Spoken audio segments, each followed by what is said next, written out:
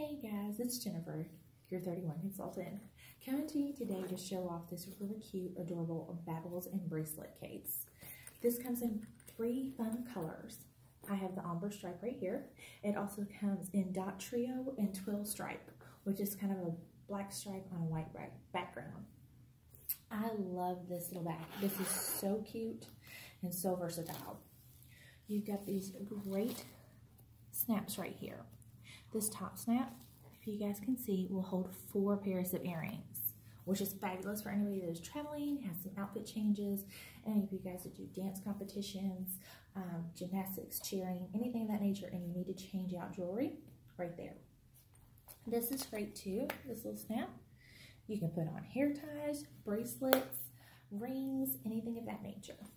Now, what also is very neat about this little bag is it comes with these three great little pouches. You can put in necklaces, different accessories, excuse me, different hair pieces, like if you have different little hair barrettes for your outfit changes, anything like that. Loose change, because that's what my kids would do. Um, and it is very deep. You've got a lot of room in there.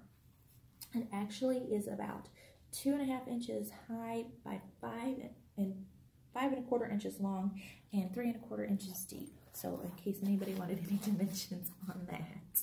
Um, but again, this is uh, the Baubles and Bracelets case. Super cute. Throw it in your bag, travel on, accessory bag for anybody that does competitions or anything. Also great, like if you need to carry um, maybe little medicines um, for different kids or anything, you've got your different pouches. So just a lot of great little uses for this.